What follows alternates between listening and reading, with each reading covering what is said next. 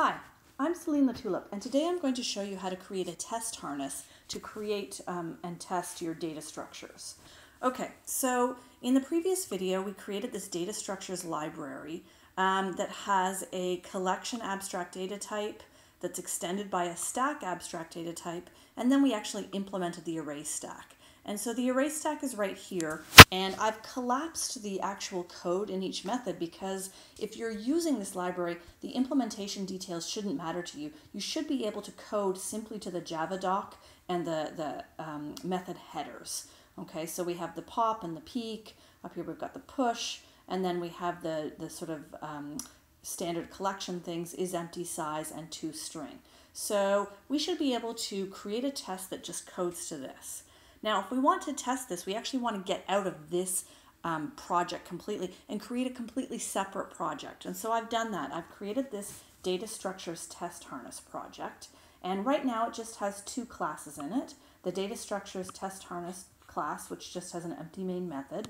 And then I created this really simple widget class. And the widget class just has a number. Um, it generates a random number in the constructor. We can get the number and we can print it out. So this is simply for testing purposes because when you create collections, they can hold any type of object, and I just created this object for our data array stack to actually hold. So in order to test this, I want to create a new class, and I'm going to call it the stack test. So this is going to be new Java class. We'll call it stack test. Okay. And um, inside the stack test, we are going to want to create two stacks. Now conceptually what I'm going to do is I'm going to push a bunch of widgets onto one stack and then I'm going to pop them off one at a time pushing them onto a second stack and because the stack is LIFO, last in, first out, what we should see is the numbers on the first stack get put in reverse order on the second stack. So that's how I'm going to test that this is sort of working properly. So I'll create private, um, array stack, and it's going to hold widget objects, um, and it's going to be called stack one, and then private array stack, again, widget objects, and it's going to be called stack two. And NetBeans is giving me some errors here, and that's because it doesn't know what the array stack is. So that's because array stack's actually in this other project, and we need to import this. So let's go to our libraries for our test harness and add a jar folder. Um, and so you want to find your DS library jar file, which should be in the dist folder of your project, and you want to link to it like that. Okay, now that didn't solve our problem. We still have this error, um, and that's because we have to put in an import statement. So our array stack class is inside this data structures package, and that's what we have to import. So import data structures dot, and I'm just going to do dot star, so we get all of that. There we go. And so now our error has disappeared. Now it's important to note that we had to pass in the type of object that we're going to be storing in this um, collection. So remember, array stack is implemented as a generic, and so we have to say, okay, in order to use this, here's the type of object you're going to be working with. Um, and in this case, it's going to be widgets.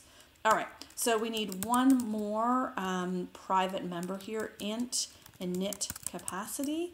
And this is just going to be how big our initial um, array stack is when we create the stack test. So let's have NetBeans create a constructor for us. And let's pass in the init capacity. Okay, good. All right.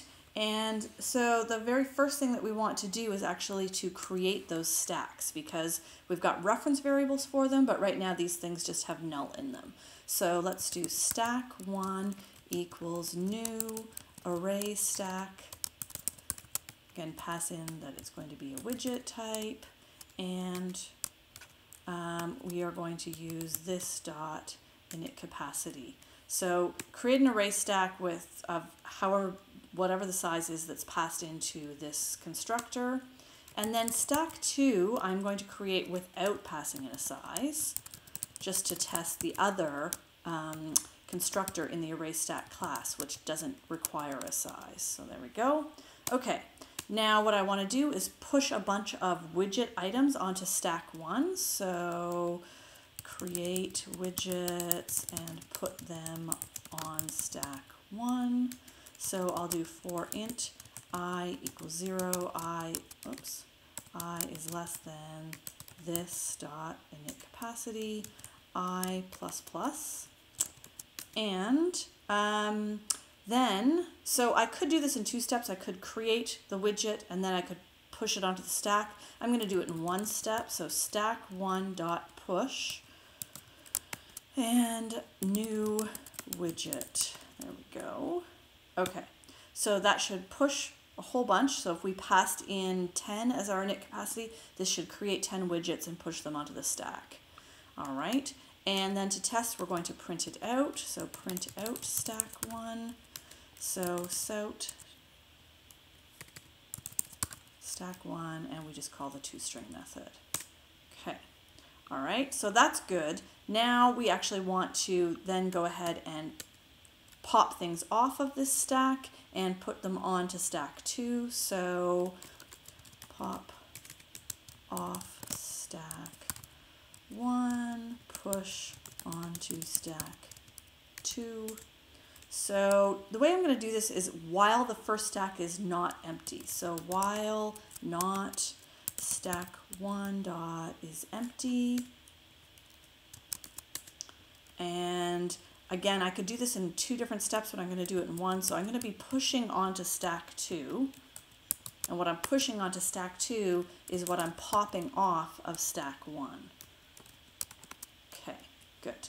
All right, now NetBeans is giving me an error here and it's about the unreported exception. So remember that when we pop things off of a stack or peek at a stack, there's a possibility that the stack could be empty and so the array stack code is going to throw an exception and we need to handle it. Now I know that should never happen here because we're testing right here for these empty, but we still need to, the compiler doesn't really understand that and it needs us to actually do something to deal with this. So we're going to surround this with a try catch um, and let NetBeans handle that for us and this will just log the exception if it happens.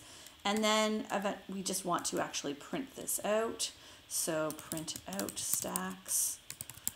And so sout uh, stack one dot toString. And of course, we've popped everything off of this now, so it should just be an empty stack.